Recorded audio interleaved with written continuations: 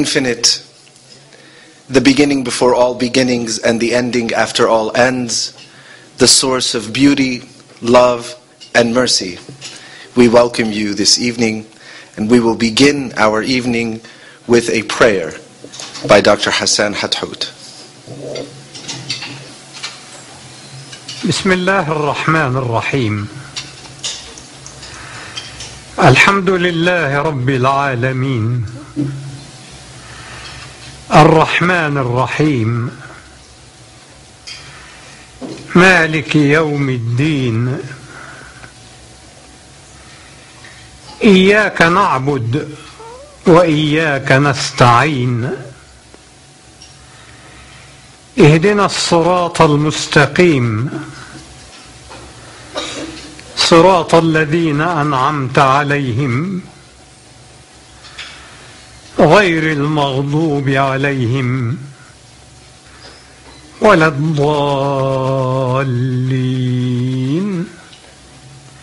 آمين Inform my subjects that I am the forgiver, the merciful.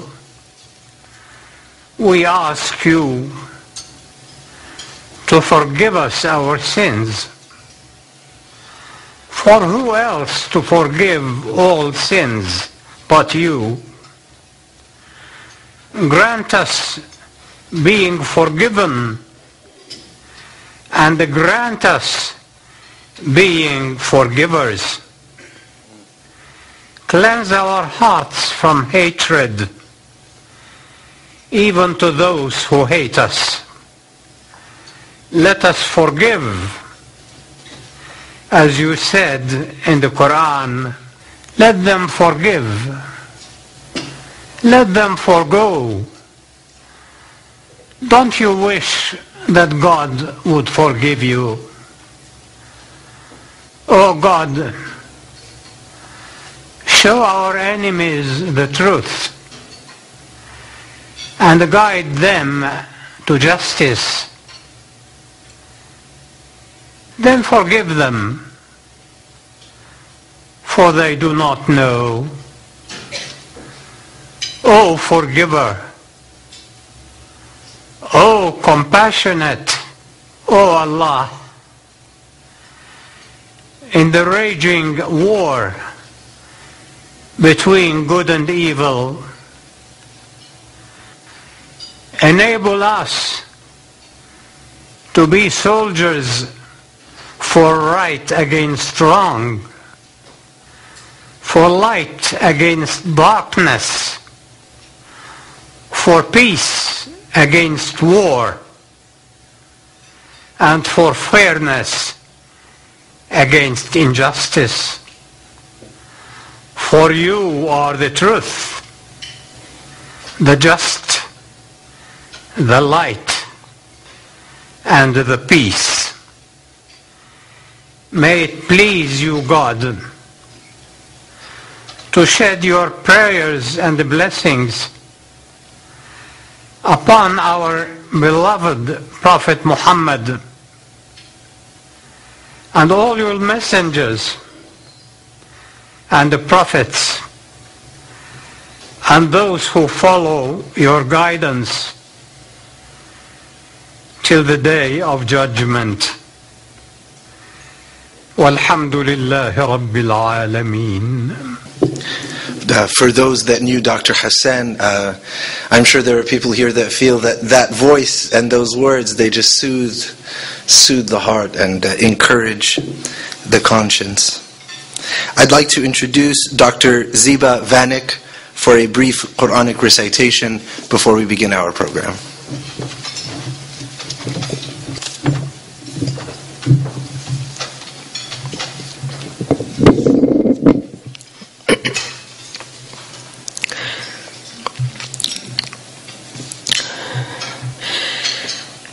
أعوذ بالله من الشيطان الرجيم.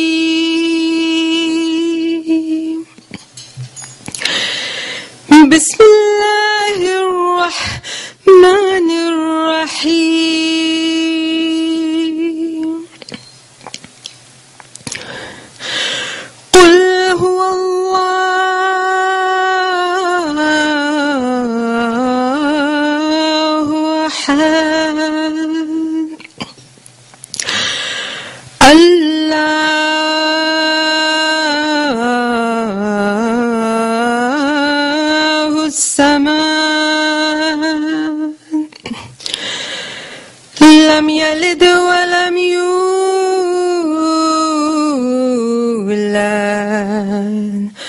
ولم يكن له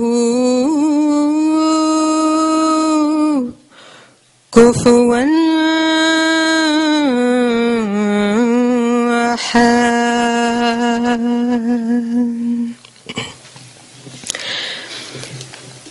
In the name of God, the most gracious, the most merciful, proclaim, he is the one and the only God, the absolute God. Never did He beget, nor was He begotten. None equals Him.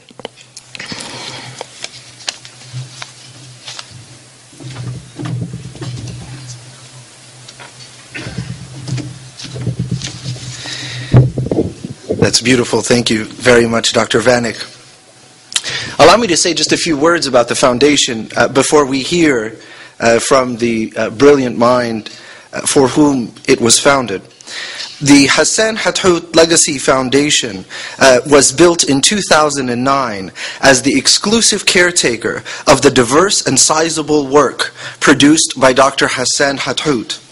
That work exists in the fields of academic medicine and medical ethics, humanities, theology, the Abrahamic faiths, Islam and its ethics, interfaith dialogue, literature, and poetry. The foundation was established to spread the message of love in God. Very intentional phrase of love in God through the works and spirit of Hassan Hathout for the betterment of humanity. The goals of the foundation include providing resources and opportunities to enable learning about Islam as believed in and practiced by Dr. Hassan Hathout. I will highlight just three initiatives of the many that are being pursued by the foundation. The first and a major priority of the foundation is to establish a research library for those interested in learning more about Dr. Hassan's encyclopedic personality. This corpus will also serve those aiming to preserve Hassan Hathout's memory as a man of God, a man of science, and a man of love. Number two, the foundation works to further the writings of Dr. Hassan and an announcement that can be made pursuant to that is that reading the Muslim mind, one of the foundational texts for Muslim Americans in their search for an authentic and organic identity that is authentic within the classical understandings of Islam and is organic to the reality of Muslim life here in America, that book, Reading the Muslim Mind, has now been printed in French, Spanish, German, and Chinese. And some of these translations are available on our website, the website of the foundation. Finally, there is an annual essay contest for children aged 10 through 13 as they sit in 5th through 8th grade. It is an annual contest in which children write an essay pursuant to the title, How to Grow a Loving Heart. And as you can see, the work of the foundation is purposed for furthering the ideas that Dr. Hassan taught us as a community and helped establish here in Southern California among all brothers and sisters of faith, among all, all lovers of the beloved. And so now I'd like to draw your attention to the screen for a short documentary about Dr. Hassan Hathout. And in love that we shall forever be with you. Uh, this legacy uh, is led by a formidable individual and a beloved leader of our community. I would like to begin the second portion of our evening by inviting our next guest to begin our dialogue. Dr. Ibet Hathout, the daughter of Dr. Hassan Hathout, is professor and Chief of the Division of Pediatric Endocrinology and Diabetes at Loma Linda University School of Medicine. She is mother to Sara Shahawi at Harvard Medical School and Hassan Shahawi at Harvard University. Ibet is the founding president of the Hassan Hathout Legacy Foundation. Please join me in offering your love to Dr. Ibet Hathout.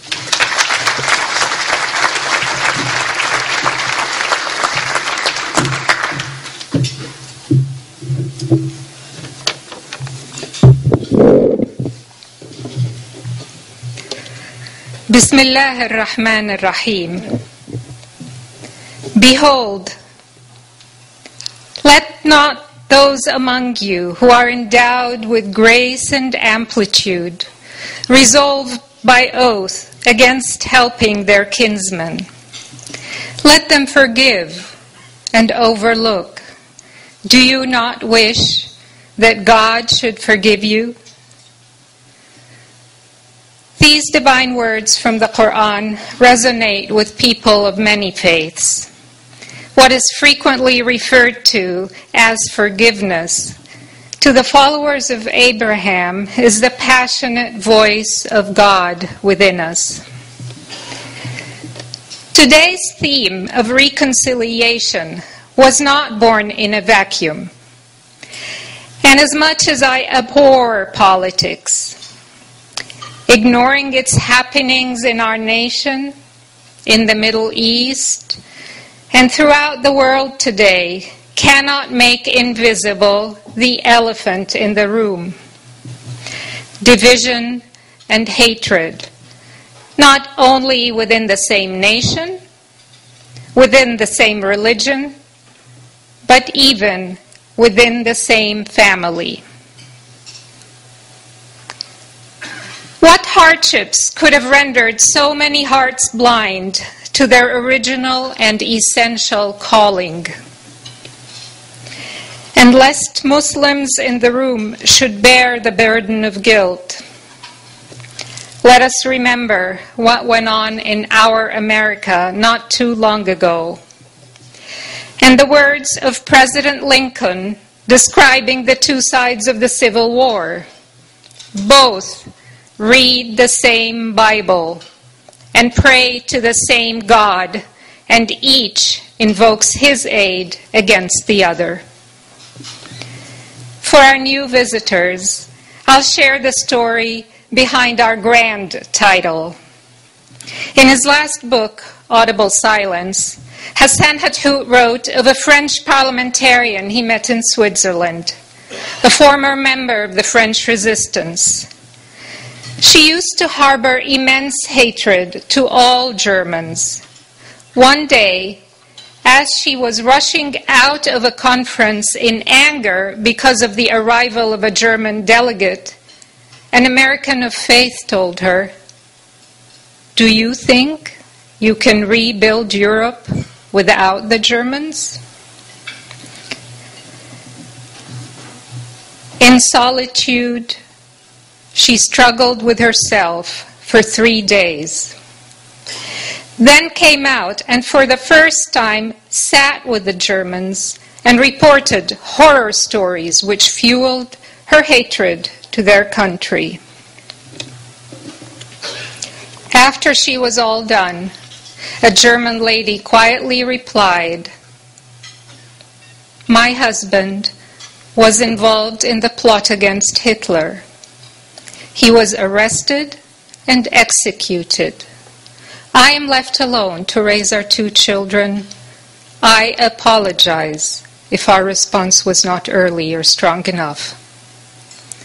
The two women held hands and prayed, ushering a reconciliation between France and Germany, which was to change the face of Europe and the world forever.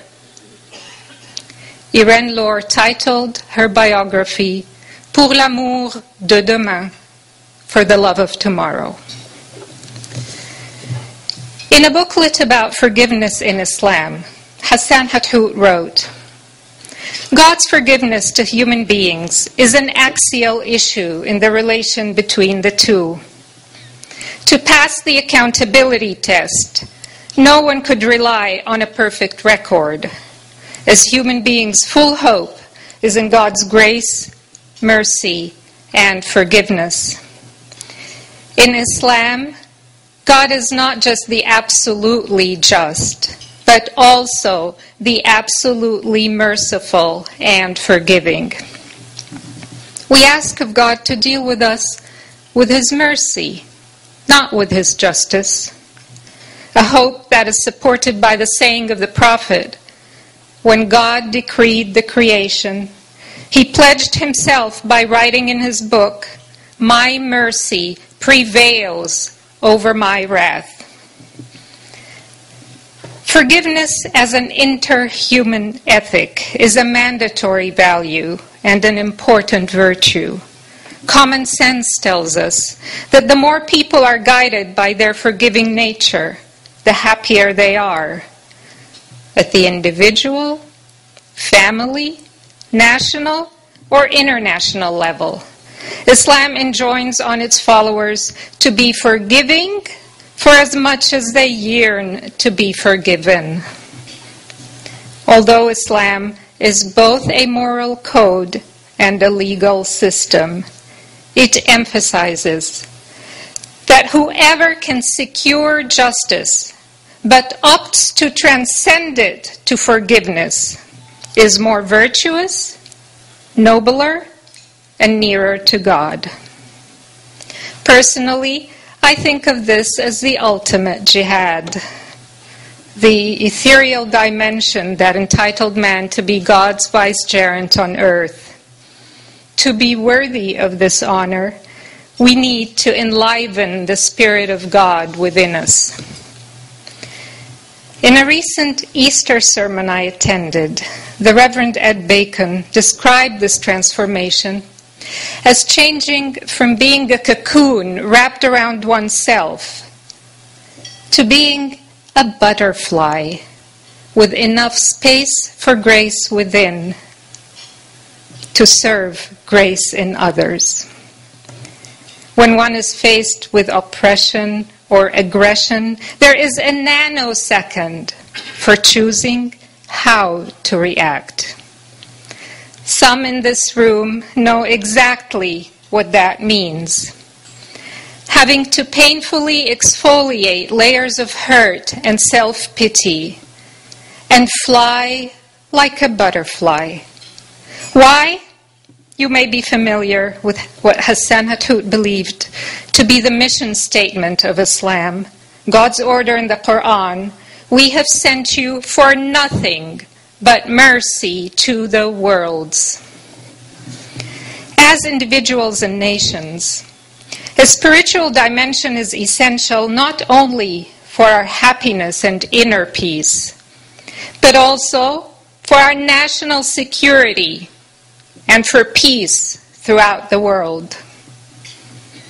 When Prophet Muhammad asked the angel Gabriel about forgiveness, he replied, your Lord commands you to forgive those who harm you, pardon those who deny you, and visit those who sever their relations with you.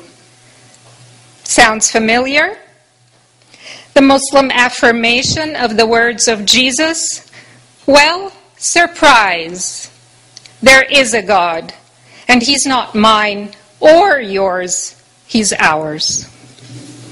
And so it is together that we perpetually navigate spiritual heights to achieve the power to forgive and see the light of God, that which guided us to here and now.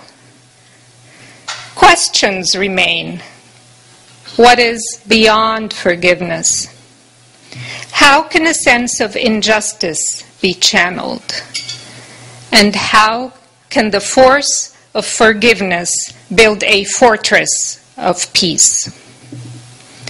We are about to reflect on a number of journeys of reconciliation by people who are more than equipped to share them. And as we do, let us not ignore the beautiful mosaic of religious threads in this hall. I shall leave you with Hassan Hathout's verse. Friends in faith, rise while you still have a choice. On the wings of love, soar above and sing with your hearts, not only your voice. God is love. God is love. God is love. Thank you.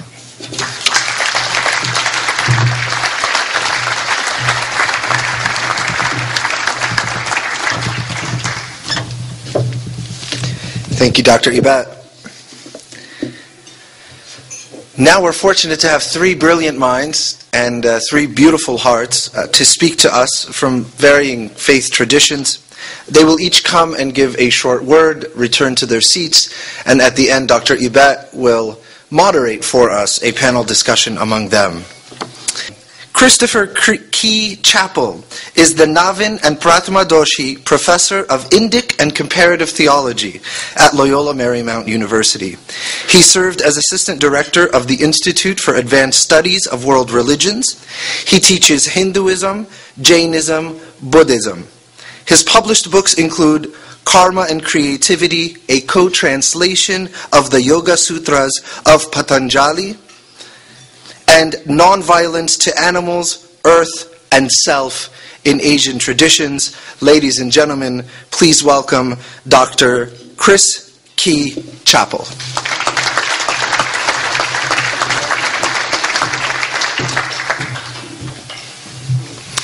It's a great honor to stand here before you tonight.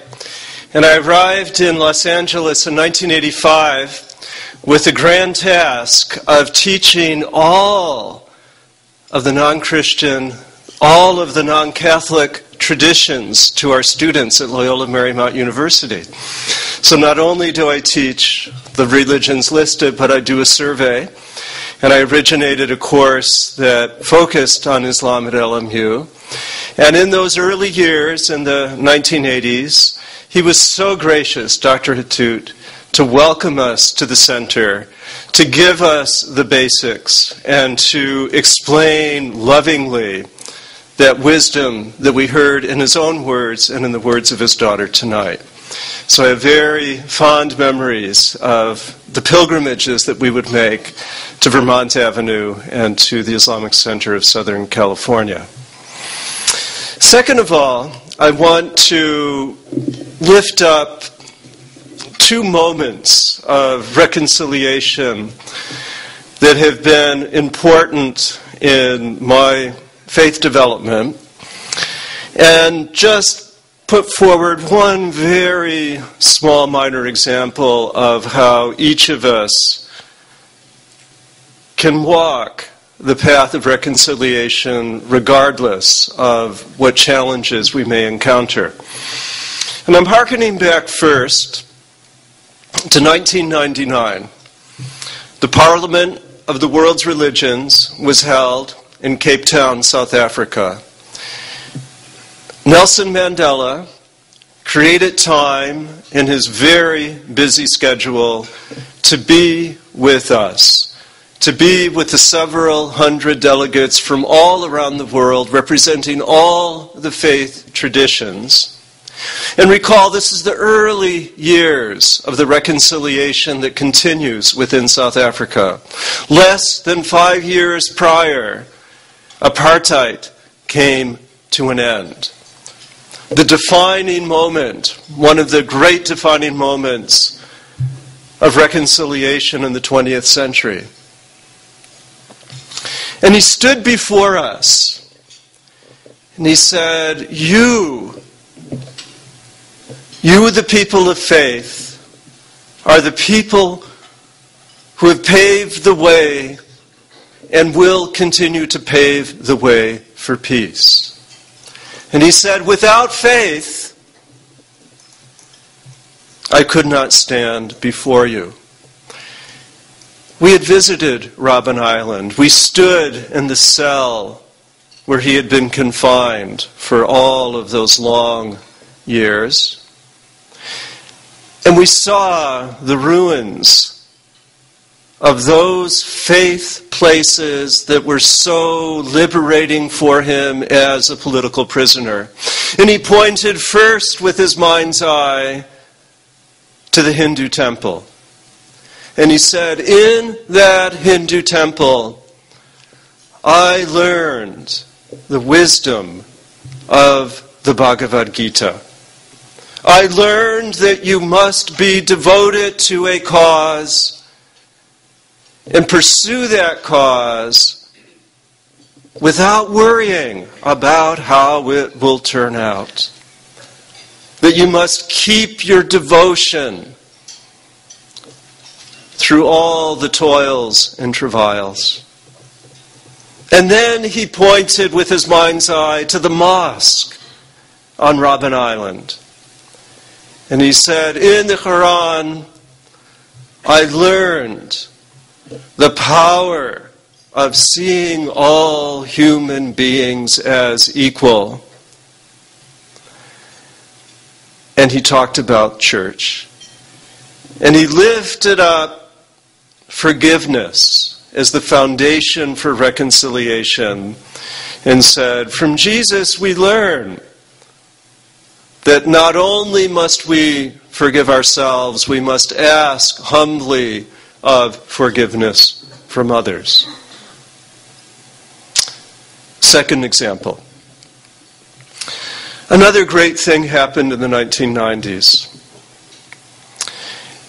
The conflict between Northern Ireland and Southern Ireland was largely put to rest.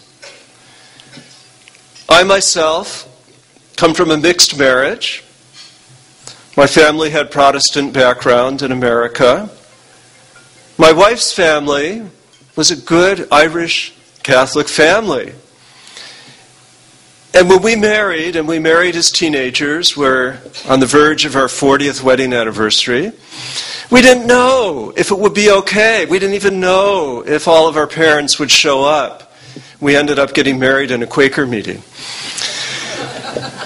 Yet, our parents became friends. Our children, of course, that changes everything, but the children beloved by all. And when I finally went to Ireland, I didn't know quite what to expect. We have so many stereotypes of the Irish, correct? Some of us may have had that as part of our cultural narrative. And I was able to bring my students more than once to the Glencree Center for Reconciliation and a colleague at Loyola Marymount set up a several year program of bringing perpetrators and victims together to talk through the resentment, to talk through the resistance, to talk with an honesty that allowed many of them to come to a place of healing. And what I learned at Glencree, which ironically was originally a British garrison, and then had been a boarding school for Catholic uh, orphans, and then was in the 1990s converted to this really innovative center for healing. What I learned is that as they met with one another, they uncover these amazing stories of people who held incredible guilt for having been pardoned, for families of British soldiers, working class families whose boys had been killed in Northern Ireland, who'd never, ever been able to tell their story to anyone who had never been recognized. And I saw the bravery of the social scientists, the psychotherapists, the people of the secular community that put their minds together to create a program to bring healing. And then the last and the most minor contribution I would like to offer is just a little story about how I've had to find ways to work to places of reconciliation. And of course, I've never suffered I'm a little bit too young to have been drafted into the Vietnam War, just barely young. And I'm a little bit too old to have worried about some of the other wars that followed. But yet, all of us, as we know from the Bhagavad Gita, as we know from the work of Mahatma Gandhi and his interpretation of the Bhagavad Gita, all of us every day encounter struggles. Thankfully, usually fairly small, but all of us in the world of family, in the world of work, in the world of these wonderful nonprofits that many of us become involved with, it's always trouble. Trouble around the corner, trouble somewhere. And what I've been able to do is to, in my moments of distress, is to go into a place of quiet and always ask the question How much am I contributing to the problem? What is my need? And giving the benefit to everyone else, trying to figure out what it is that will make my heart heal so that I can be in a place of comfort with those who I feel have aggrieved me. In following this process, university administrators, family members, nonprofits having a little bit of a scuffle. Iba had alluded to all of these possible arenas in which we struggle. And like Gandhi, what I would like to think is that by asking those questions, how much am I contributing to the problem? And by trying to be honest and then have the bravery to go and set forth my perception of the situation and open myself in a willing heart to be corrected. And that way, by the facilitation of communication, I feel that I've been able to be a little bit of a better person in a few circumstances and emulate these amazing people, such as Nelson Mandela, who have, in fact, transformed our world for the better. Thank you.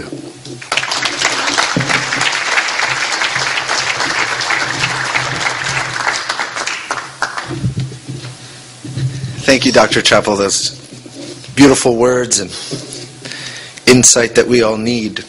Uh, I would like to point your attention to the note cards on your table. Uh, they have pens next to them. Uh, you are welcome to write any questions or comments that you have as it relates to any of the speakers or the discussion that will follow. And the ushers will come around and take those cards and present them to the moderator during the discussion. So we would love for you to be a part of the conversation. And the note cards at your table are the way to do so. Okay one of my favorite people on the face of the earth. Uh, Najeeba Syeed Miller is Assistant Professor of Interreligious Education, founder and Director of the Center for Global Peace Building, and Director of Interreligious Programs at the Center for Engaged Compassion at Claremont School of Theology, the Center for Engaged Compassion. Her work includes gang interventions, diversity training in universities and public agencies, conflict resolution in public schools, and interreligious dialogue among the Abrahamic traditions, Please help me welcome Dr. Najeeba Syeed Miller.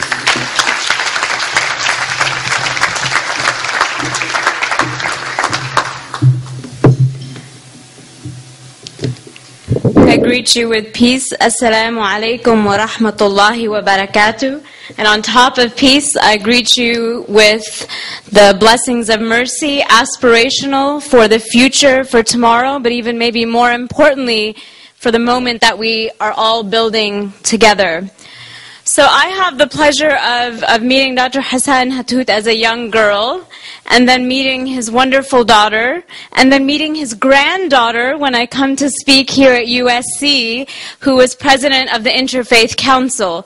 So if anyone wants to see a family that produces Muslim women that are in the forefront of interfaith action of the highest academic caliber, you need look no further than the family and the patriarch that we saw here. So patriarchy in a good way, not the patriarchy that keeps women from engaging. I just wanted to point that out. That's also one of his legacies is his engagement of women at the table and uh, seeing the eloquence of those that are around him. Clearly, he and his wife have passed on a tremendous heritage that has lasted three generations. So the fourth generation is the bridge to tomorrow. We'll see, inshallah. I'm sure it will continue. So I wanted to speak briefly about the importance of the work of the foundation as an interfaith space and then because Dr. Hathout was a poet, give you four uh, alliterative or four uh, ways that we engage in peacemaking. So this evening is important because it represents a third discursive space, one in which a generative, critical discussion on the roles of religion, ethics, affect, and social conditions can inform and transform and form one another. It does this with epistemic commitments beyond the usual narrow suspects that we have of definitions of religion. So Dr. Hathout introduced us to talking about poetry as part of our commitment to our interpretation of our religious experience. So the openness and the definition of religion is a very powerful legacy that he gives us in reconciliation. And more importantly, in the interfaith space, we are all on an equal playing field for the communities of scholarship represented here tonight at the table. And this is very important because it's different than a normative belief in the validity of all approaches. We don't need to come to an agreement on the validity. However, very few are the spaces in which we can publicly perform the internal exploration of religious traditions with a critical eye and also cast a glance at the experience of someone else who occupies a space at the proverbial table and at the larger landscape of society. We should not confuse multi religious spaces for watered down, diluted scholarship. Here are ethics of disagreement, which Dr. Hathout talked about ethics very often. Our ethics of disagreement elevates our discourse, sharpens our scholarly pen and produces a result of interreligious education that is not only appreciative but also intellectually rigorous in pointing out when religion has damaged humans and humans have damaged religion. One thing I want us to keep in mind is Dr. Hathout was a critical thinker. He combined two things that are hard to find these days compassion and critical thinking. So this is something that we have as part of his legacy, is not a blind following of one vision or version of the world, but this idea of a critical engagement.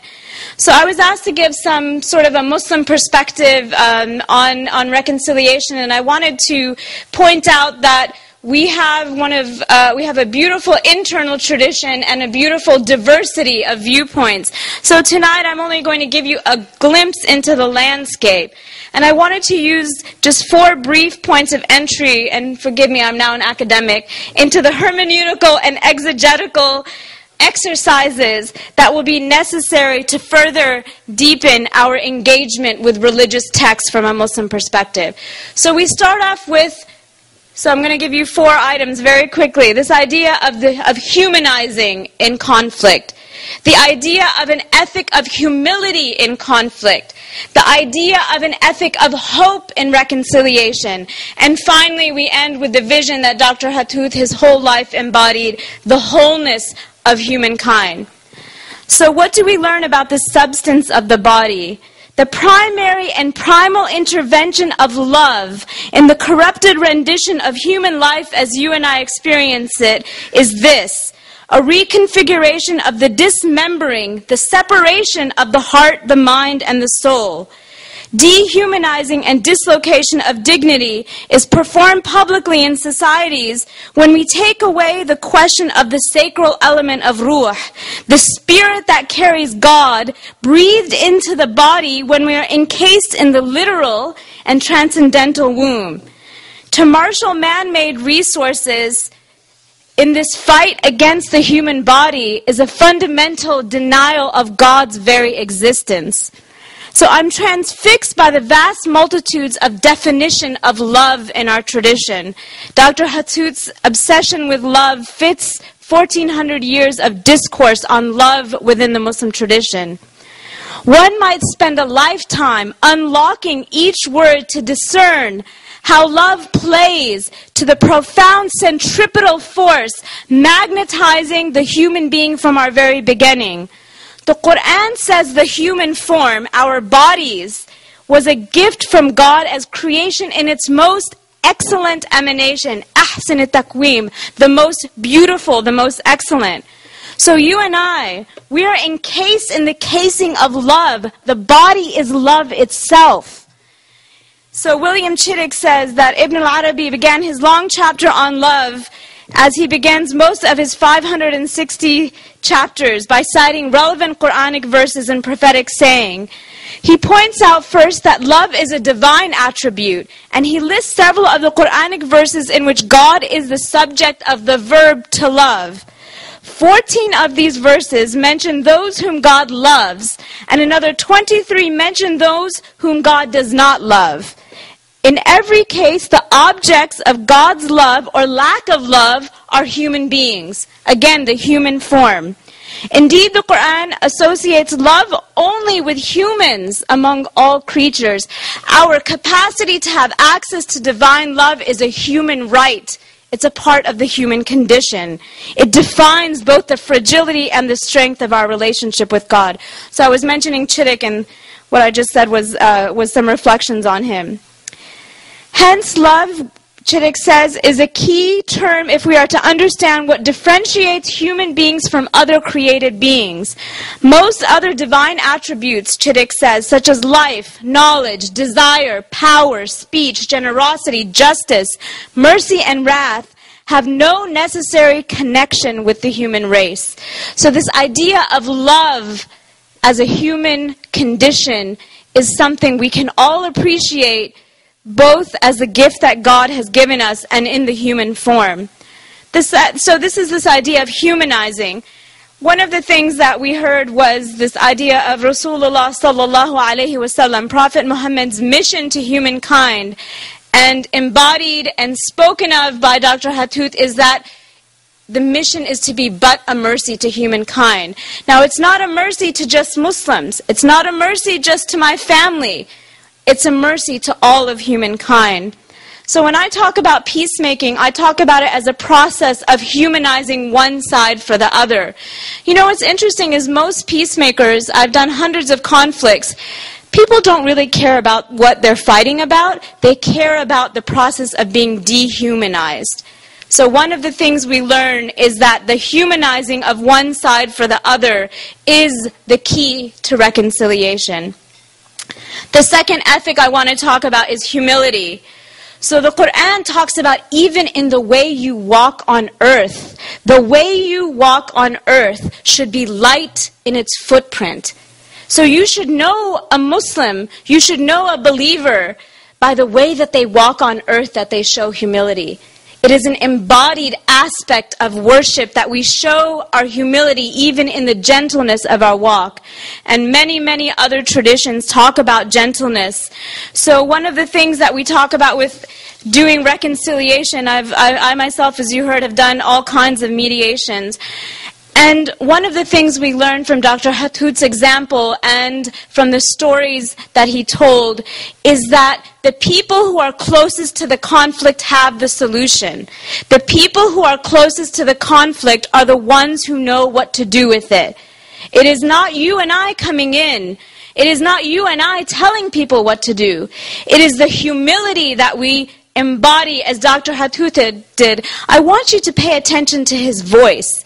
His embodiment of humility shows what in the Quran Luqman, um, a sage uh, advisor, told his son Be moderate in thy pace and be moderate in thy voice, because the louder you get, the worst of sounds is the braying of a donkey. Keep in mind how we even speak and how moderate is our voice. Are we speaking with humility? So the second thing I wanted to point out was this idea of the ethic of hope. Every prophetic tradition has this ethic of hope. So the prophets, all of the prophets from Adam, and as Muslims include uh, all the way to Prophet Muhammad, they essentially saw a world that was not in yet in existence. I love the story of Prophet Noah, Noah. He was told to go build a boat. He had this irrational, if you were to look at that, people he, he people were laughing at him people were making fun of him but yet he went and did this project so this idea of having hope, of embodying hope, of producing hope, of being hopeful, of being hopeful against all odds. That is a prophetic tradition that we all share. And the currency of Noah's power, the currency of Prophet Isa, Jesus' power, was never wealth. It was never money. It was never the ability to hurt people. It was their ability to hope against the odds of any rational subjugation of stopping their dream and their ability to see the beauty that others could not yet see. So, how do you and I embody hope? When I go mediate conflicts, the most dangerous thing I do is to go in and not be hopeful. The minute I give up hope, the minute I throw up my hands, everyone else in the room does. So how can you and I go into conflicts and use the gift of faith instead of the damage of religion? What about the gift of religion that the divine connection to our Creator allows us to carry hope with us? The last thing I will end with is this idea of wholeness. We used to think that Groups were formed in common enemy. Now the work of Pittinsky and Allophilia allows us to see that the way we can build community is actually through deep connection and through love for one another. So God describes God as the full manifestation of justice and of power and of beauty. The push towards justice as the measure of a society and a human are often emphasized and pushed as the key religious identity. One of the misguided notions, in my opinion, is the presentation of relationship of rahma and adal, of justice and mercy as a dialectical one, a competitive one, so that one exists where the other doesn't. What if we change the relationship between mercy and justice to a dialogic one? Mercy implies, I wanted to, to just share this with you, that might not the divine intervention of God expose us beyond the linear lens of justice and mercy as oppositional. So there's Imam al-Ghazali says that mercy implies a pain-inducing empathy which lays hold of the compassionate one. This moves a merciful person to satisfy the wants of the object of mercy.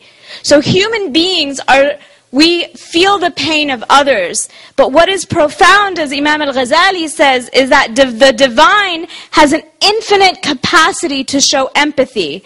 So, part of our relationship with God and with love is to lean on the divine to expand our narrow capacity for empathy. I can only feel so much pain in my human form, but that connection with God allows me to feel far more pain.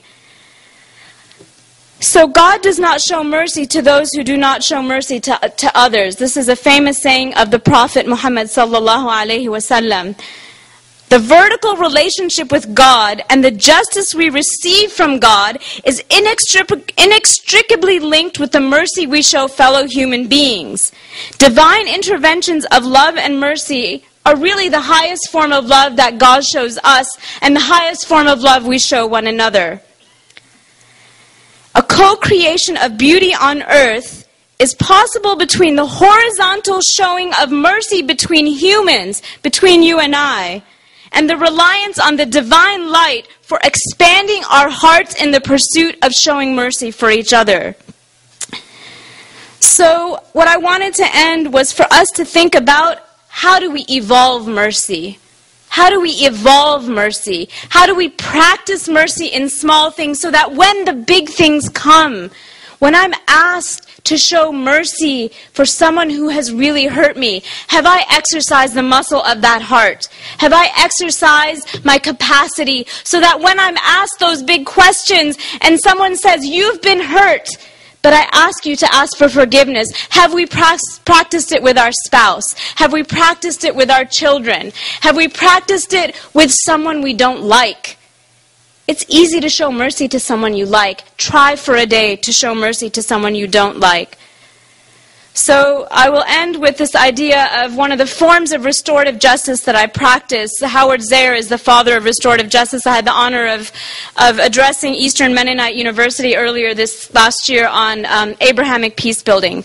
And he says restorative justice instead of retributive justice is a process to involve to the extent possible, those who have a stake in a specific offense to collectively identify and address the harms the needs and obligation in order to heal and put things right as possible. So, if we think about humanizing, we think about humility, we think about hope, and we think about community wholeness, really the resources exist in my tradition and they exist in yours.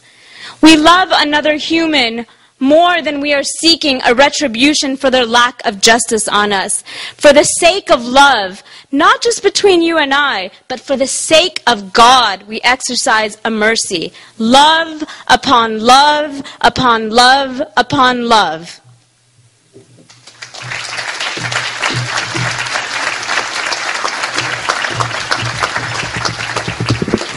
Wonderful, brilliant. Thank you so much, Dr. Najeeba Syeed Miller.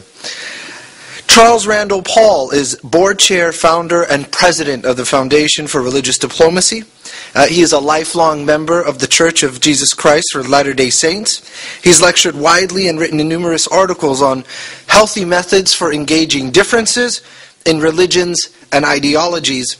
And he's currently completing two books. Uh, the first title I think you'll love Fighting About God, Why We Do It, and How to Do It Better and Converting the Saints, an American religious conflict. Uh, he's on the board of editors of the International Journal of Decision Ethics, and we welcome uh, Dr. Randall Paul.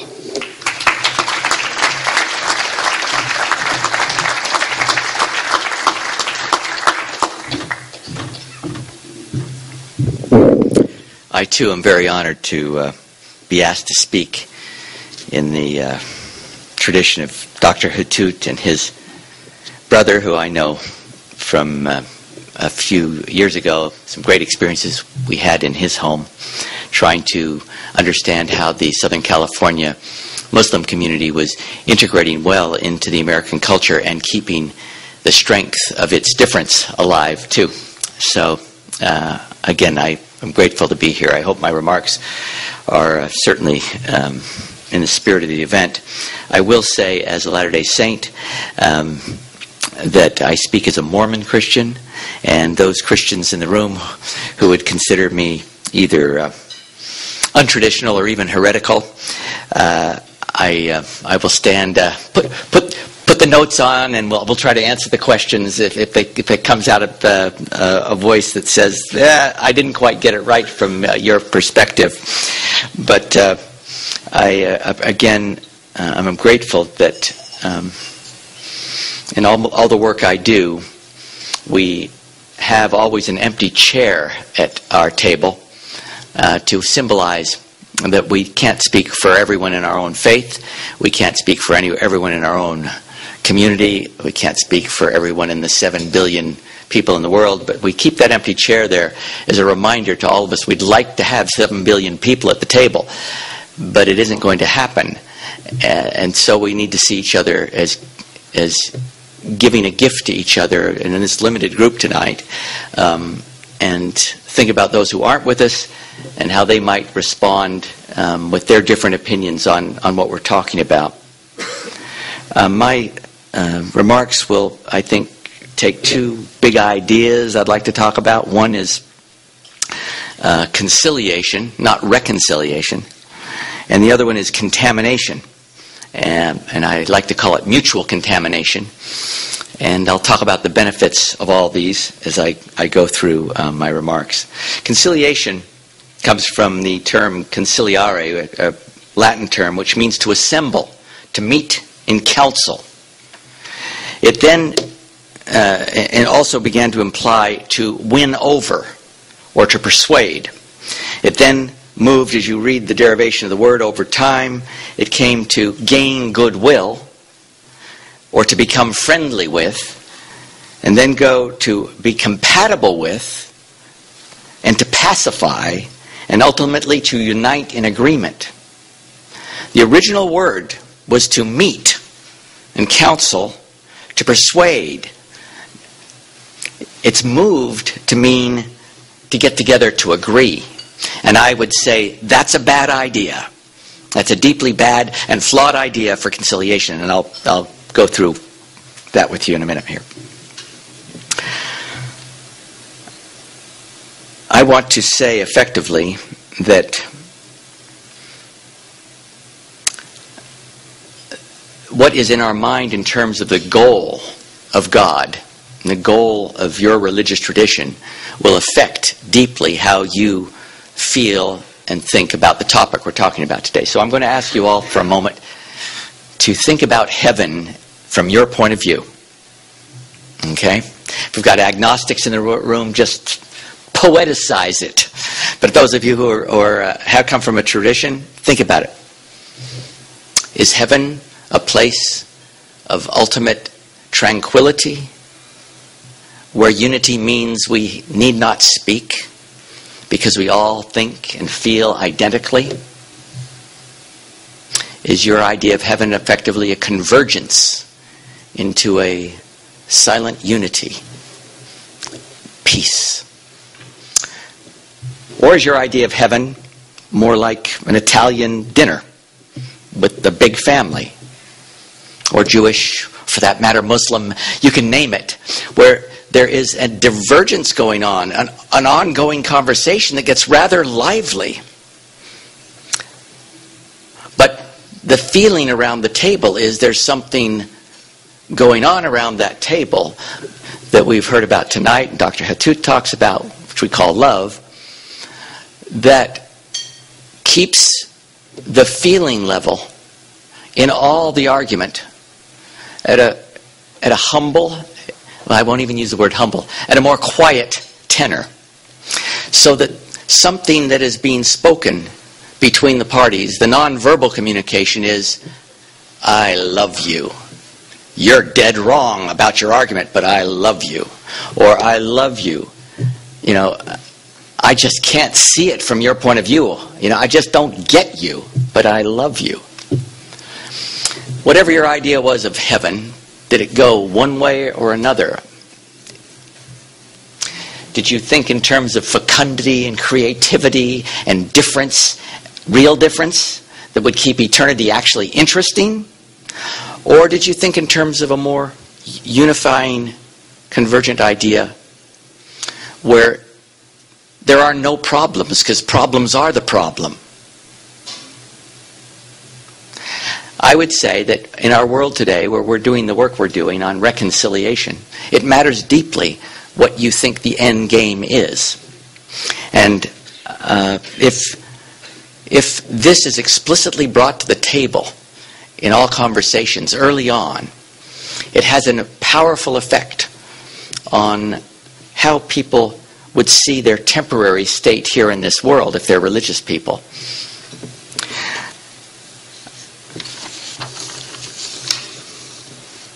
William James, who is my favorite American philosopher, wrote an essay that I'd recommend to all of you called The Sentiment of Rationality, in which he said the personal human temperament, your own personality, has much more to do with what you choose to believe than you would allow. And he basically says we all come in our in our family backgrounds and in our DNA, whatever the, the ultimate reasons are for these things, we're differently wired, so to speak, to prefer one way of being religious than another. And we find theological arguments and, ra- and uh, rational philosophical points of view to support our aesthetic and personal view of the world.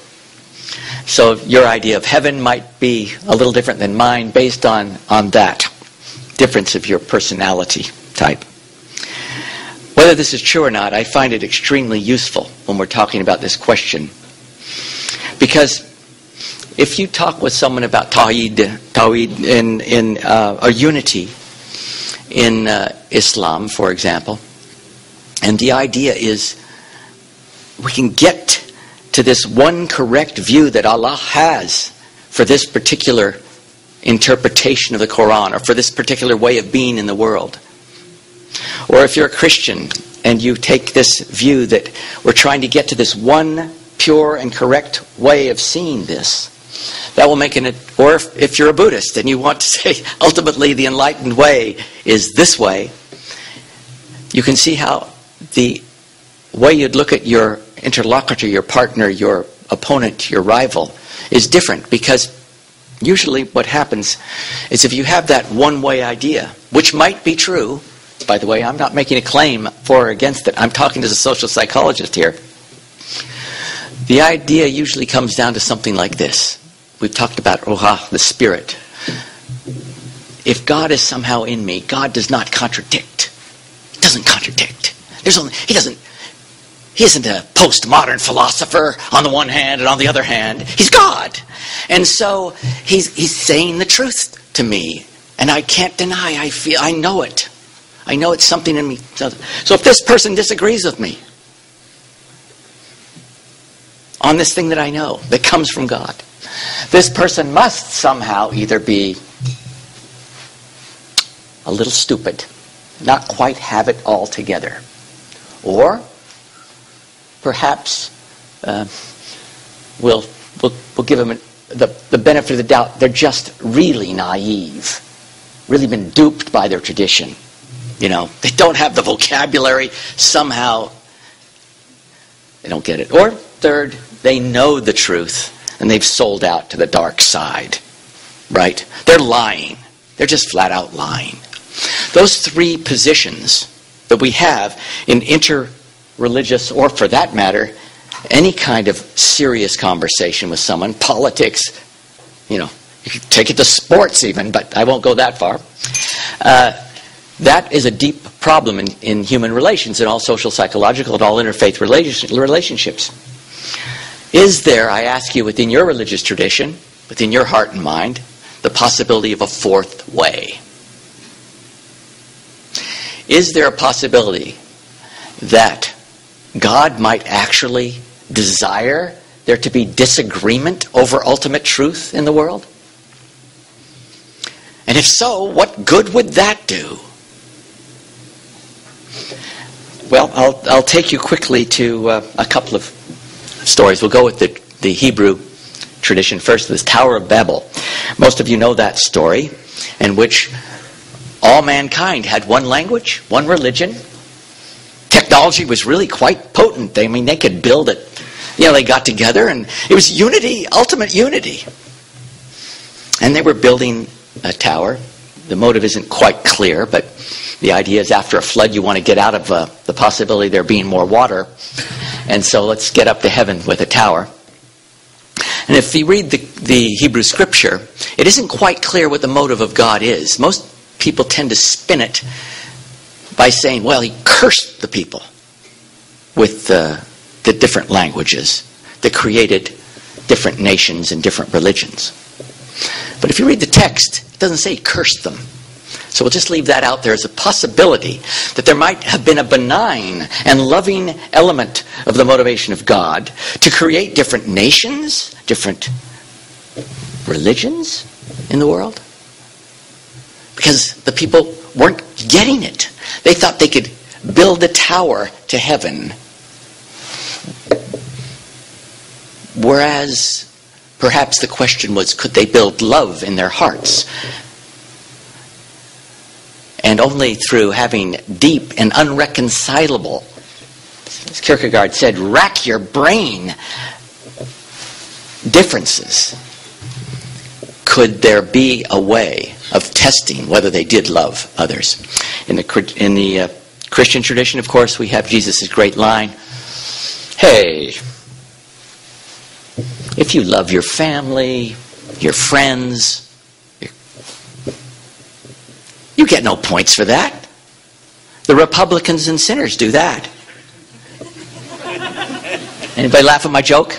The, the publicans, the, the tax collectors, and sinners. I, this isn't a very liberal group, I can tell you. Um, the, in other words, you can see where Jesus is pushing there at the end of the Sermon on the Mount. He pushes to the point you get no points for loving people that love you. Love your enemies. Most Christians, of course, came away saying, oh, yeah, that's. That's beyond. I mean, that's that's the graduate school of uh, Christianity. We'll believe that for the next life. We'll put that on the, the table for a minute, and then come to my favorite scripture.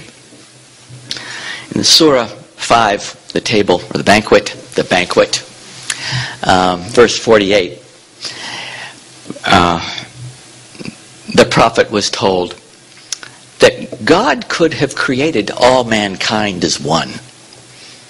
Implication being there, all nations, the, the na- nations as one, Babel like, one religion, one people. But he didn't. And, but it, and it actually gives the purpose, an astounding scripture. I don't know of any other scripture like it. it says, in order to create competition between religions over virtue, over goodness, he created many nations. The idea of vying with each other in a contest of virtue is a very, very profound social psychological reading of humanity by our divine creator. That we, as William James said, we want something that is so important that we're, living to, we're, we're willing to give our lives for it. James said, we want a moral equivalent of war. Sounds like jihad on one level, right? We want that in our souls. To, to, to take that out makes life a little uninteresting to humanity. And so we have this deep idea, deep in the Quran, and I think the other religious faiths could learn from it, that there is some ultimate purpose in this competition of difference, especially in the competition of love that is the fundamental issue at hand. I like to say at our foundation that we know your religion best by observing how your religion treats those who are your deepest rivals. We actually use the word rival because it has the right edge. And I will leave you with this idea tonight that everything we're doing in we've, we've got some initiatives going on in the Middle East and in America. It's based on changing the heart People have to desire to live with their rivals. They have to desire to live with them as rivals,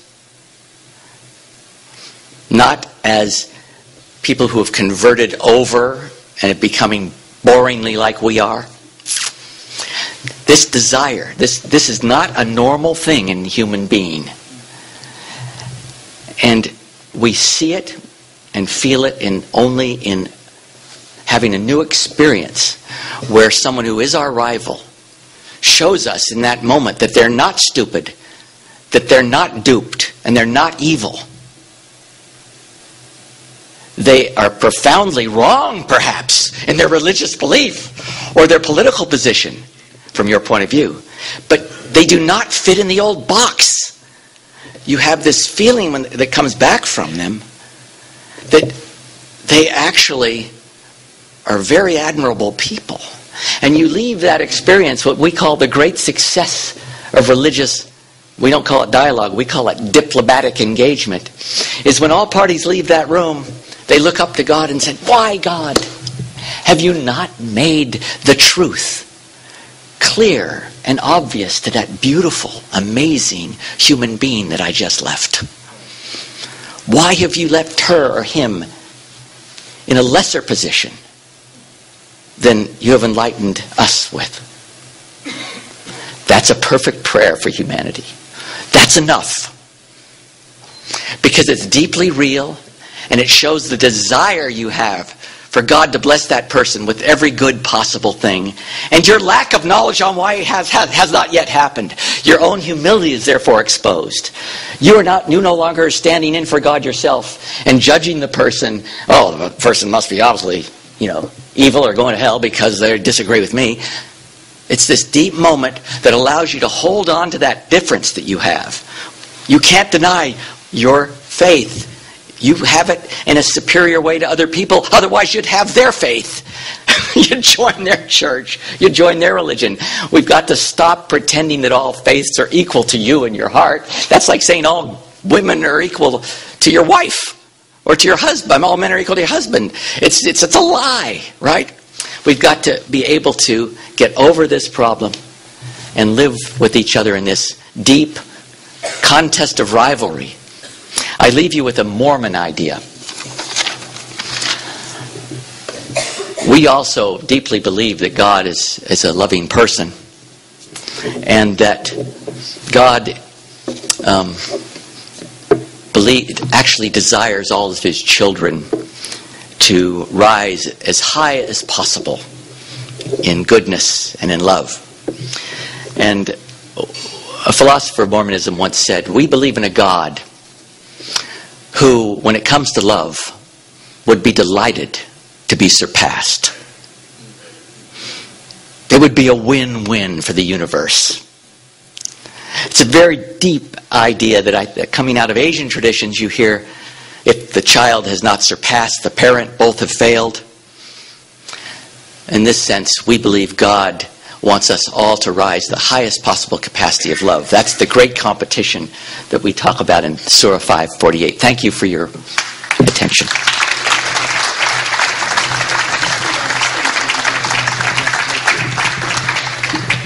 Thank you so much. If I can invite all of our speakers back on stage. You'll find it. If I can invite all of our speakers back on stage.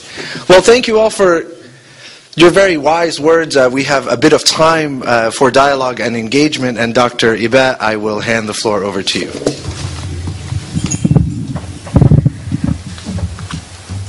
Well, first, I'd like to um, express my deep appreciation uh, for someone who has rescued me today.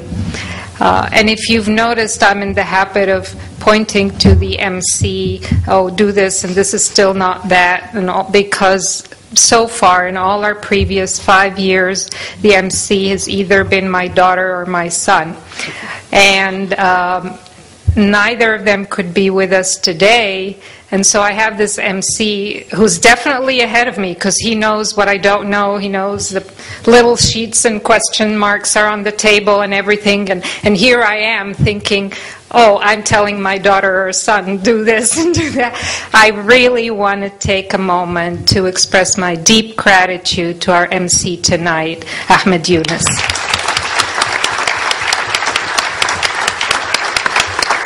of you as a loving mother. yeah.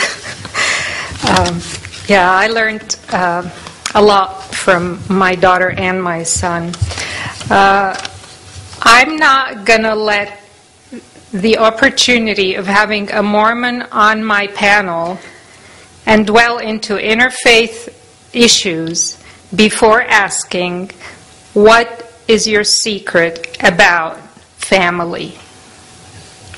How do you manage to keep your families together and to do it so well in an age uh, where families of all traditions all over the world are suffering? Can't you ask the problem of evil or something easy like that? Uh, first of all, uh, the Latter day Saints, the Mormons, have problems in their families too. Believe me, everyone's No. got problems. and uh, I will just say that uh, I think uh, Joseph Smith's um, basic idea. I know that there's supposed to be the seal of a prophet, but uh, you know Joseph Smith we think sneaked in there after Muhammad, and I didn't hear that. um, his idea uh, was one that I think did very profoundly unite the idea of tribal family. As there's no heaven without the tribe. he said that the same degree of social life that exists in this world exists in heaven. Mormons actually believe in heavenly parents, that there's a family in heaven. They go to this the temple, and in the, in the Mormon temple, the highest ritual is there's an altar, and the man and the woman literally face each other over the altar, put their hands in each other's hand, and the priest stands back, and instead of facing the priest, the man and the woman face each other, and if they're if they have children, all the children put their hands over the parents' hands, and they say yes to their eternal family. They say we are going to be a family that lives in eternity together. This ritual is is the highest Mormon ritual. And so Joseph Smith, though he took the Christian idea of personal salvation very seriously, every, everyone has to be uh, a sinner and then repent of the sin. The, the idea is the relationship in a family is the fundamental unit of heaven, not just earth. And I think that's a powerful um, thing that Mormons feel guilty about if they're screwing up, right?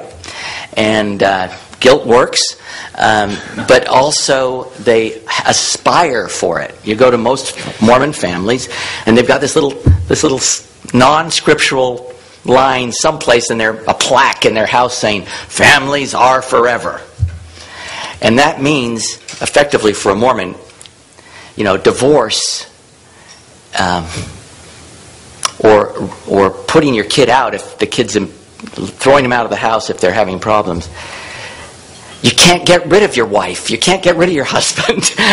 Uh, you can't get rid of your kid. That person is going to be there as an eternal person in your life. You've got to work it out. And so there's this, this, I'll just say that there's a theological and a sociological aspect to answer your questions. But anything we can learn from our Muslim, our Jewish, our Hindu, our, for that matter, our secular friends to help us with our families, we'll take all the help we can also get. Thank you very much. Thank you. Um, Why is a lot of conflict, historically and in current times, done in the name of God and religion? Why, why over and over? And why things like never again happen again? Why, why isn't humanity learning from its mistakes? And why is religion always the culprit. All speakers.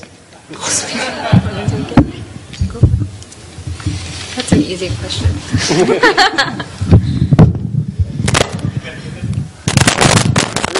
okay, the, this is a little bit in the way, so I just wanted to um, see the faces of the folks on this side of the room.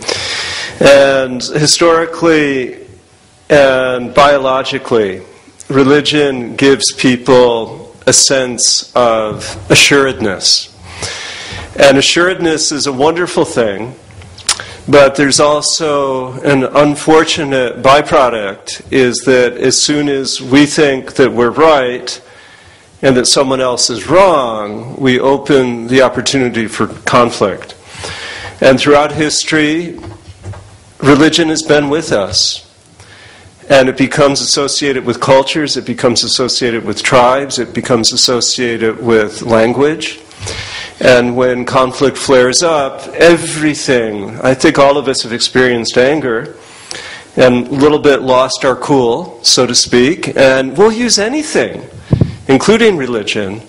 And the language of religion is a language generally of power. And I think that that's the beginning point and for some, the end point of trouble.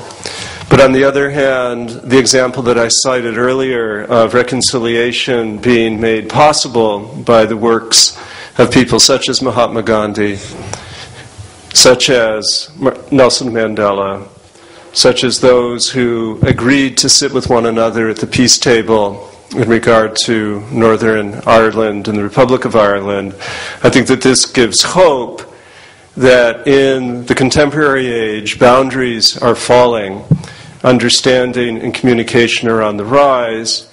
And if we look at the number of deaths due to war, that they are certainly diminished compared to the middle of the 20th century. So I think that our understanding is rising, our communication has improved. And just to put a, in, uh, in a word for Noah, okay, um, we face a new Noah era, and that um, may or may not be a flood. But we're going to have to have a little bit more ingenuity if our grandchildren and great grandchildren are going to be able to flourish. And we have different problems than we had before, and many of these problems are, in fact, human caused. So hopefully, we can put aside religious conflict and unite for the benefit of all humanity. Take a shot. Take a shot not to use violent language, take a shot. So um, I would just say really quickly that actually most of the violence that's happening in our uh, world right now is not between people of different religions. It's very often people of the same tradition. So I just want to point that out because in conflict resolution theory and practice, we find the most bloody conflicts have not been between people who are very different. It's between people who share some resources and need access to those resources. So I just wanted to point that out. I think it's a mis misapprehension uh, that people of different religions are always and have always been at war.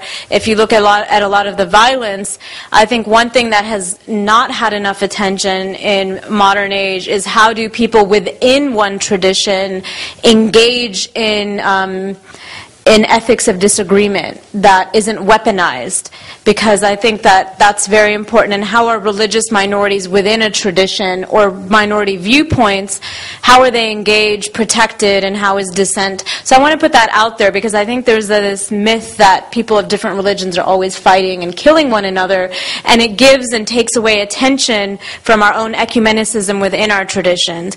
And I think it's actually one of the costs and the rise of the interfaith movement. I'm very excited about the interfaith movement, but I think sometimes we've forgotten to look inwardly and look at how traditions are engaging with each other. So when I talk about a Christian, what is a Christian doing internally in their tradition? What is a Muslim doing to engage with other Muslims?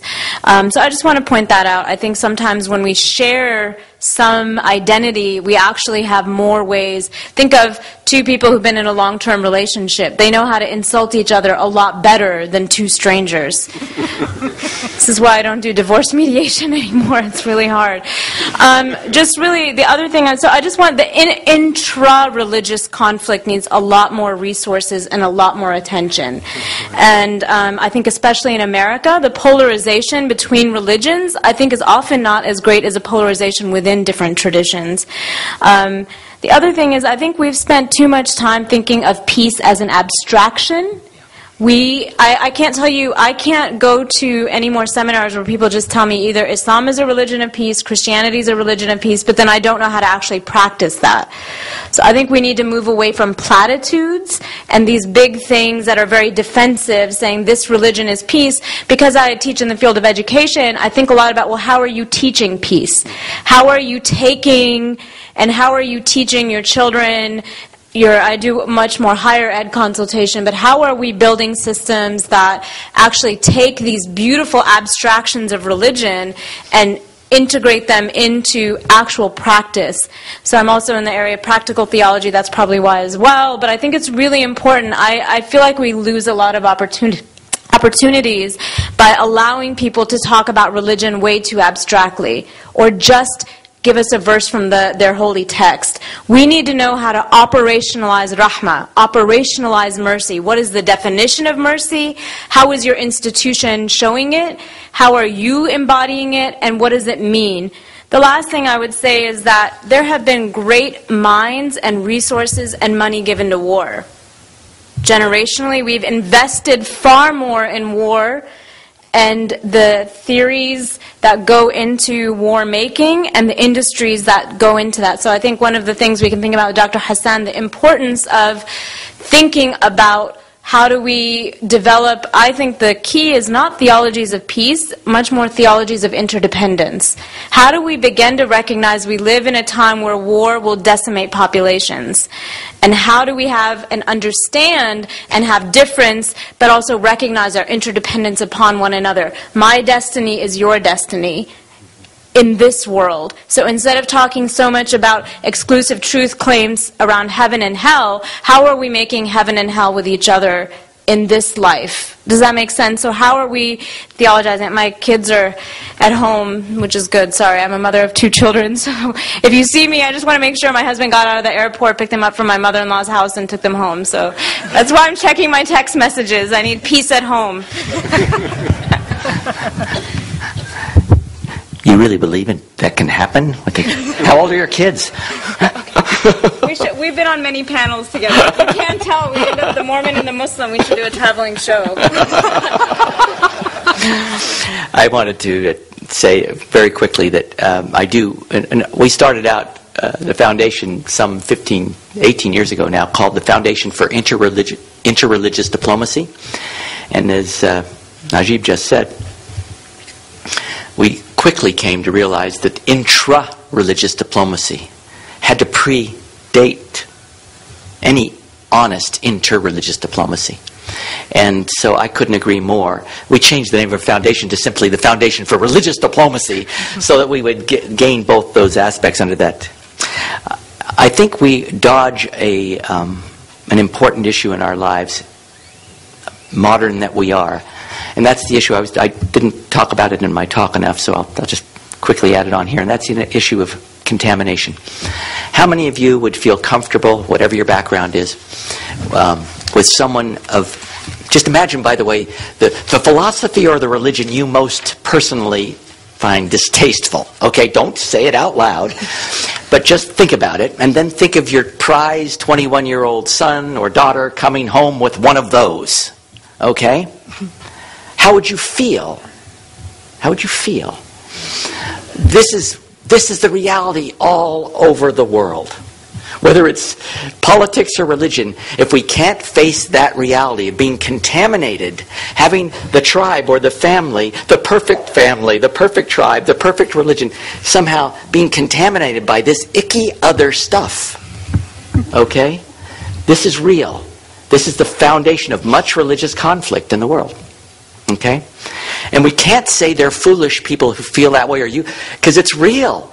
We do contaminate each other. So all I can say is um, we are working on a new model called the model of mutual contamination, where we realize it's with, with modern uh, interaction, it's almost impossible wherever you are to quarantine your family, to quarantine whoever you want to quarantine and keep them from the influence of others. How far does it go? How, what is your ethic going to be? What do you teach your children? Can they not eat with others? In the ancient world, they couldn't because that meant they could intermarry. They, they were human. And if you wanted to keep the tribe pure, you wouldn't eat with other people. Can, can they date others? Right? How far does it go? This is a practical question that we all need to face in our own lives. And this is the level of desire for interaction and love of others, this is where it happens, where they feel your part, you can come into the inner circle or you can't. And we, if we're honest about it, it's not that we don't love them, it's we don't want them to change the pureness that we have, that will change if we bring them in. This is the problem of our, our world today, and I just I want to put that out there that these people who have conflicts, intra or inter, are not idiotic to have those conflicts. These are real differences in our lives.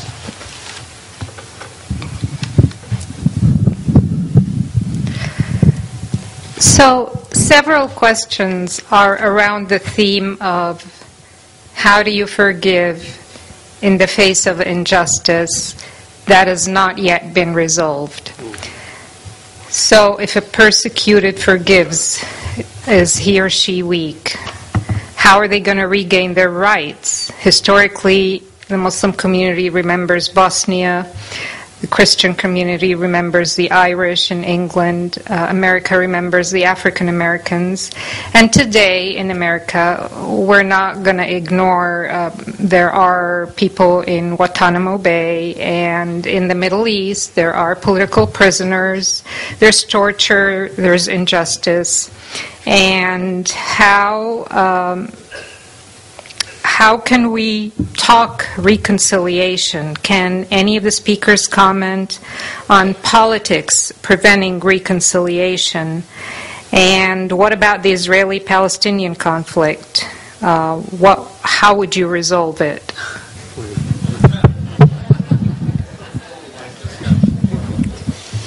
I think you should start. Oh, really? You know, that's a lot of different questions in one.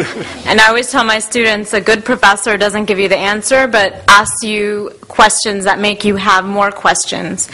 And then they're like, well, why are we paying you to teach this class? I thought you were going to give me answers.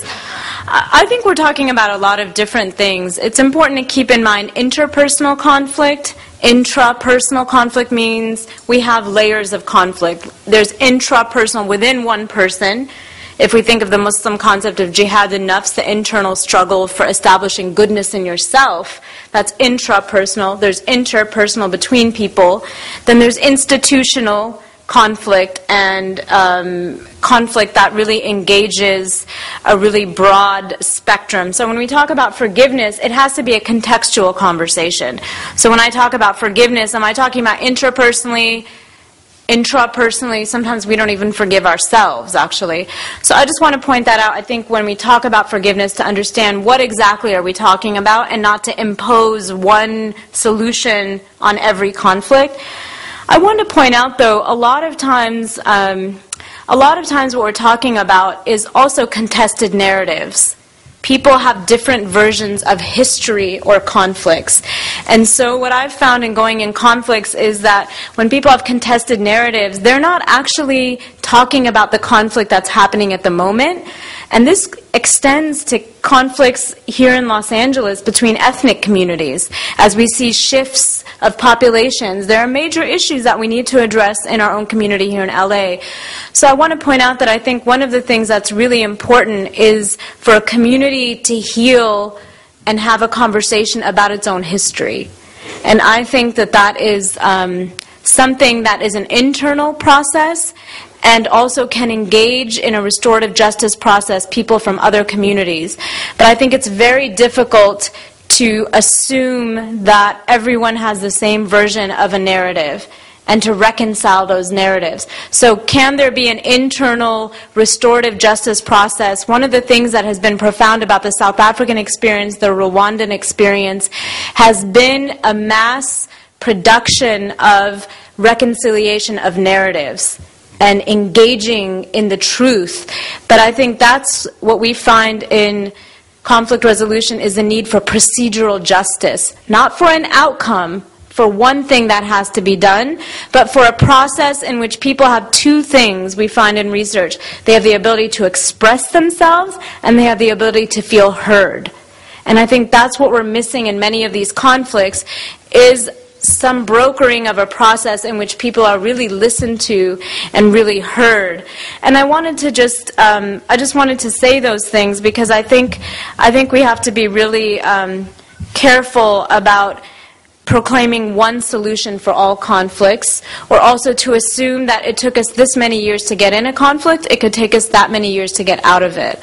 And um, so those are some of the things I would reflect upon. And just really last of all, from a Muslim perspective, I think part of the question is why are we always, why is the conversation about mercy being the alternative to justice? I still hear that very often. And why can't mercy be the path to justice? That's just a question I have in process. I love that. I, I, from an LDS stand, standpoint, mercy is just, and justice is merciful. It's a, I'm with you on that. The, the, the dichotomy is. Can I can I just pick mm. up on this? Uh, in answer to that question, I would I would uh, say that we have a couple of things going on here.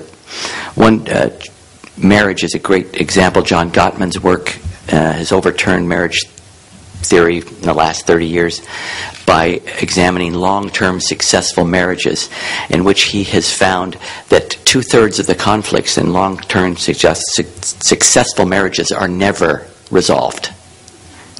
Only a third are resolved. The other two thirds, the couple learns how to engage respectfully, not naggingly. The timing's important, um, but they, re- re- they revisit the issue of differences they have. Sometimes they're deep, but in a way that is, is considered a part of the marriage, a part of who they are. Again, this is crucial to any kind of conflict that we find is intractable, because when we look at it, on some levels, the conflict is desired by the parties.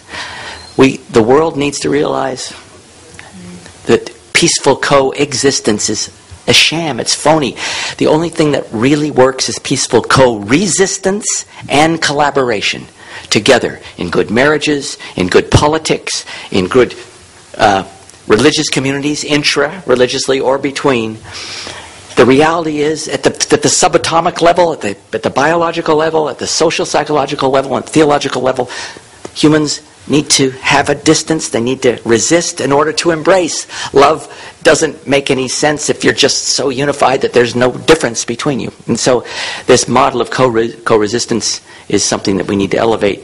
In Israel right now, we're working on, in Egypt, working on what we call the Four Maps program. It's not a solution. It's a sustainable program to let the conflict go on in a different mode. Four maps are you have different views of the future the eschatological end. You ask the, the Christians, how will the world end? You ask the Jews, how will it end? You ask the Shiites in Iran, how will it end? And you ask the Sunnis. This is a theological group where they throw their maps out on the table and they're shocked to see they're different. There's a different end. And then we ask the question, okay, what are you going to do about it? Are, are you in charge of bringing this about? Or is it a divine program? And inevitably, they come to the conclusion that their map, now that it's been seen by the other side, now they've been heard by the other side, now they've come out of their theological closet and said, yes, our, that's the superior map, that's the way it's going to end. They can relax.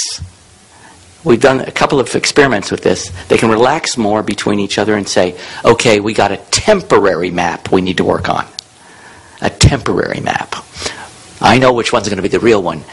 But there's but let's work on the political and economic temporary map. It tends to take that edge off of not being heard and not being listened to by the rival. So you can see where I'm going with this that we need more acknowledgement of the different end games people have in mind in the name of peace and realize no, they really think they need to be in a contest over ultimate truth the world among religious people is not between good and evil, it's between better and best. That's the only thing that matters, between better and best. And that's why this thing is going on within communities or between communities. Yeah, I'd like to echo two words that we've heard. One is empathy, and the other is communication. And there was a social scientist called Ashutosh Varshney, University of Michigan and he studied areas in India that are remarkable in their lack of discord. And what he discovered is something that reminds me of 2001 in this neighborhood. First, an example from India. In Kerala, which is approximately a third Muslim and a third Hindu and a third Christian, conflict? Hasn't happened. And he went there and he, he just looked at all of the segments of society and he saw even the headloaders worked alongside one another. Now, who knows? What's a headloader? Okay, there's actually a union, a national union for headloaders, and headloaders are the people that you pay to carry stuff on their head. And in, in Kerala, there are Muslim headloaders, and there are Christian, and there are um, Hindu headloaders, and they all know each other. They see one another as human beings. And here in this neighborhood, um, September 12th. Immediately, the Buddhist community walked over to the mosque and said, We have been where you are right now. We will help you. And I'm told that it still continues. They still yearly meet to celebrate their fraternity and sorority with one another because the Japanese Americans, the Japanese Buddhists know what it's like. 100,000 sent away in concentration camps here in the United States of America. And they extended a hand and said, let's let the world remember. And even if it doesn't make big news, we have to remember that what we have suffered, we want to share with you so that you know what to look for. And I think that the remarkable thing is, again, um, retributive violence. Yes, it happens, and less so than in decades past.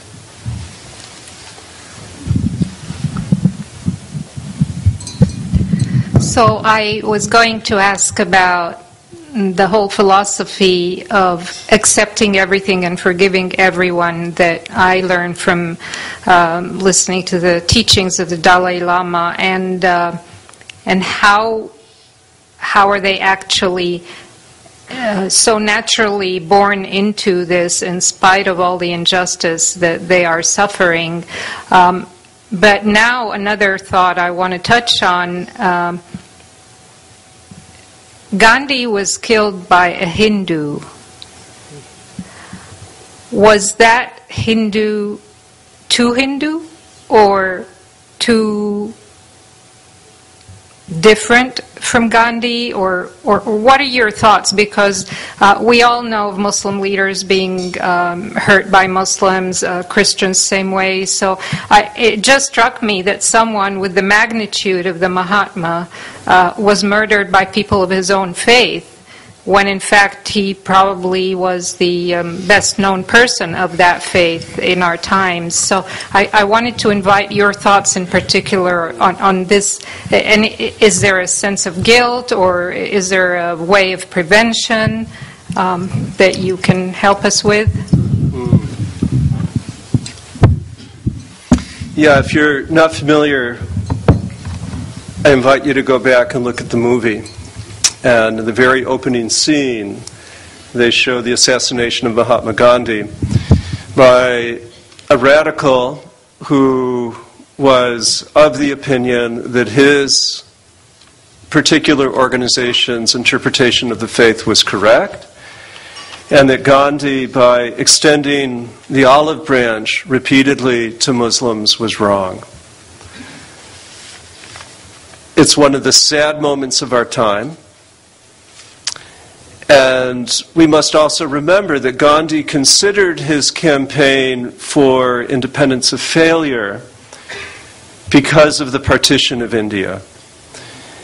And those of us who are familiar with the, the tragedy of what happened in South Asia know the magnitude of migration of millions of people and the many, many, many lives that were lost this is a story that's not been sufficiently retold. So, this underscores what Syeed said earlier was that it's the intra faith conflict to which we must be most attentive. What Gandhi himself stood for is self correction. And one of his grandsons told me a story about a woman who was really worried about her young boy. And she went to the ashram, she went to Gandhi and said, You know, he's the only one, or rather, she said, he will only listen to you, Mahatma. He's eating too many sweets. This isn't good for him. And then Gandhi said, Well, have him come talk to me in a week. And she rather quizzically went away, and then she brought him back dutifully in a week, and he said, You must stop eating so many sweets. And then the mother said, Well, why did you wait a week? And he said, Well, I was eating too many sweets. and what Gandhi always professed and practiced was that we have to begin with change at home in order to have any effect on the world. And in fact, he, after the terrible murder of so many trapped people in Amritsar, he pulled back for a good 10 years before again moving forward, wanting to be as careful as possible to make certain that the peaceful way was to be pursued. So, although I know it sounds platitudinous and I know it may sound a little bit trite, but what Gandhi's murder, I think, really shows us is that we can't control the world. All we can really control is ourself. All we can do is hope that our example will help improve the world, but recognize that some people, such as Joseph Smith, such as Mahatma Gandhi, thankfully, Muhammad died a peaceful, natural death. Uh, but there have been others in Islamic history who certainly have not had that gift. So, again, this is the great paradox of what it means to be a human the recognition that we have hatred hardwired into our biological impulses, and that we're constantly inviting our rationality and our heart to override those base impulses. I was going to add something. Is that okay? I just want to point out that forgiveness does not mean a cessation of advocacy. In fact, I think forgiveness advances better strategic advocacy because if we don't operate from actually looking at the conflict in front of us, and we are tied to a version of the conflict that happened maybe five generations ago, we may not actually be seeing what's going on around us. So I'm just pointing out that forgiveness can mean we forgive for so that we are able to move on and be better strategic advocates. Does that make sense to everyone? I think that that's really important because I think this idea of forgiveness is this importance and this need for self healing and for individuals and what I do in my work, which is relational self healing. That a community to begin to think about getting access to power. One of the things I remember someone telling me when I started this work is one of the most dangerous things you can be is the victim of a victim. Because if we are not working on our capacity to do that healing, once we get access and move advocacy forward, then are we really going to wield that power in the most effective way? I just want to point that out. So I don't, I don't think these are binaries of if you seek forgiveness, especially with divine intervention, if you heal from the wounds inflicted upon you, that's between you and God, then you can seek a justice that is far more inclusive and far more durable. If you just react emotionally, the justice will be very, very ephemeral. And so I just wanted to point that out. The other thing is, um, nonviolence has become a much more rich area of discourse. I wanted to engage all of you. My mentor just passed away in the field, actually, Glenn Stassen, who's the father of what we call just peacemaking. There was just war theory and there was pacifism. So I wanted to point out that nonviolence does not equal passivity or weakness. When we make a choice to engage in nonviolent action over violence, it doesn't mean that we're choosing to be less uh, strong in our position. So it could be a strategic choice to make the choice of nonviolence, but it has to be well thought out and it has to be um, looked at for historical reasons. When Rasulullah when Prophet Muhammad was in a position of prosecuting potentially all of the Quraysh who had done things to him at the at the at the end of his at the end of his life, he knew it wasn't just spiritually that he forgave them, it's strategic. He made friends with people who may have been his former enemies. And so thinking about these issues strategically is also important. So I wanted to point out nonviolence has a value spiritually, but it also has a strategic importance in being able to make wise choices in conflict resolution. And so Rasulullah is not just a spiritual leader, he's a strategically minded individual from which we can gain examples of how to think about engaging more effectively around conflict.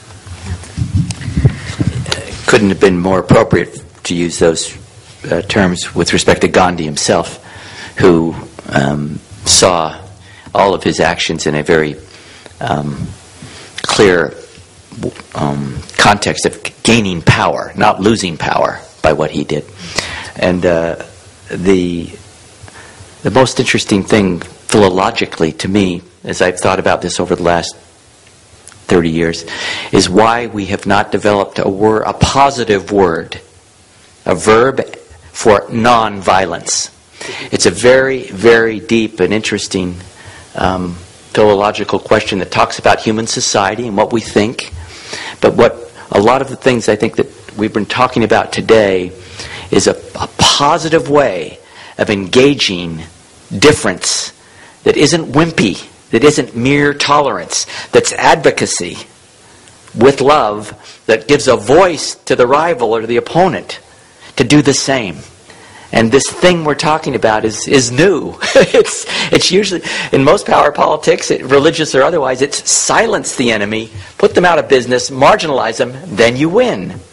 But we're in a strategic world today where to win, as William James would say, that religion that allows other religions to thrive the best will be the one that wins. It's a very interesting idea that that you have in the contest over the best, you want everyone to thrive, and then you have self confidence that your group will surpass in love and in goodness the others. And that's not a bad contest, right? that's, a, that's a deep idea. The positive aspect. What is the positive of nonviolence? So I have to close the panel, and I'll do so with uh, one of my father's verses again. This one reads For the wind that bloweth the sail is the mind, but the faith in the heart is the compass to guide. And what is eyesight if the heart is blind? Lo, we all look so good, but what is inside? Who is right? Who is wrong? Only God will decide. Thank you. That's the way 548 ends, I guess. Ladies and gentlemen, if I can direct your attention to the screen for a closing comment by Dr. Hassan Hathout. Ladies and gentlemen, uh, when they founded this country, uh, they wrote um, a series of articles in New York newspapers. And um, one of those articles was written by Alexander Hamilton, which became the first of the Federalist Papers.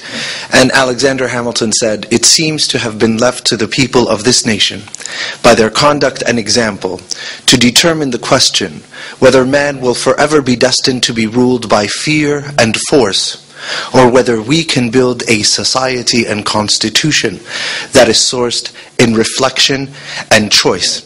I lived much of my life with Dr. Hassan, and I have many personal anecdotes. The one that I leave you with today is the simple statement that has come to define how I try to live on this earth. Ahmed, there are only two types of people on this earth people with love in their heart and people that do not have love in their heart. We love you. We respect you. May God bless you all. Drive safely. Salam alaikum.